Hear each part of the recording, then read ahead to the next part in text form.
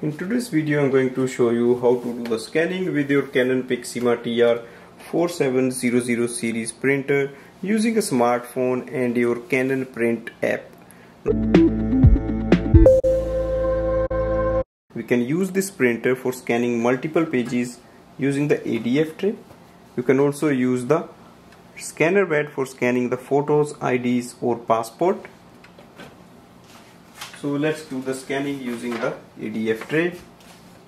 Place it facing up. You can place multiple pages.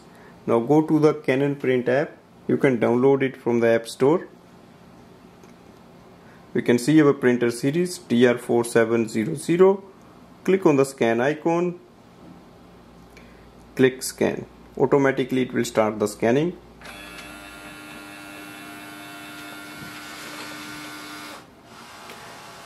Make sure your printer is connected with the smartphone using Wi-Fi setup or Wi-Fi direct setup.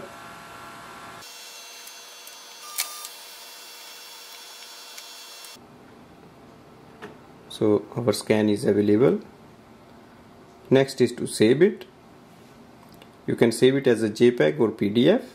On the next screen you can send it as an airdrop, email, WhatsApp or you can just save it to the files click on the save button and go back to the home screen. So this way we can do the scanning of multiple pages with Canon printer TR4700 series using a smartphone and Canon print app.